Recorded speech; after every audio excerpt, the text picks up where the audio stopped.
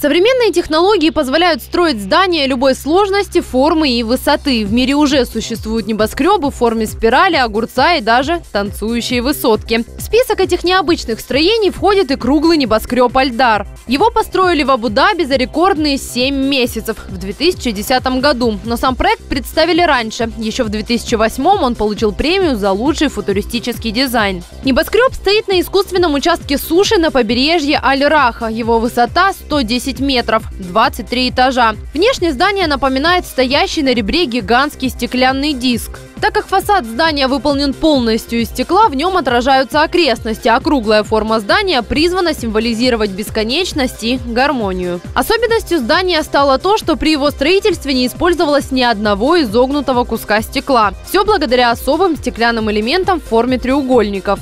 А за счет внешних стальных конструкций внутри небоскреба отсутствуют привычные железобетонные опоры, что делает офисные помещения более просторными, светлыми и воздушными. Также это здание является одним из первых экологически чистых построек в Абу-Даби.